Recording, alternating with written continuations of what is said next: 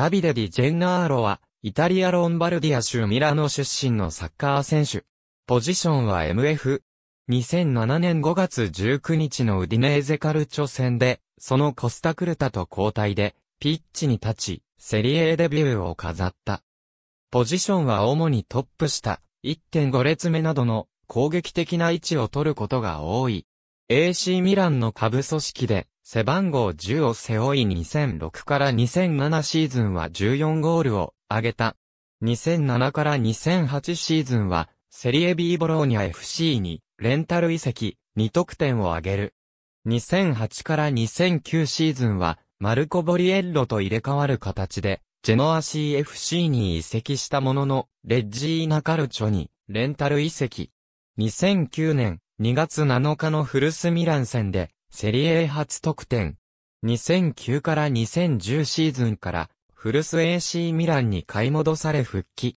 2010年1月28日、エースリボルノカルチョに、シーズン終了まで、レンタル移籍した。2011から2012シーズンは、モデナ FC へ、レンタル移籍。32試合に出場し、10得点を挙げ、シーズン通じて活躍したことにより、AC ミラン復帰が囁かれた。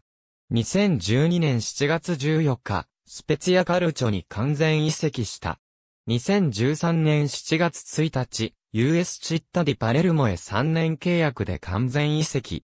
2014から15シーズンは、セリエ B のビチェンツァカルチョへのローンで過ごした。2015年7月13日、シモーネ・コロンビと入れ替わる形で、カリアリカルチョに移籍し、引き続きセリエ B でプレーすることとなった。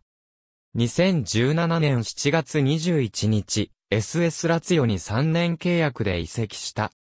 2021年1月31日、チェゼーナ FC に移籍した。各年代でイタリア代表の経験がある。ありがとうございます。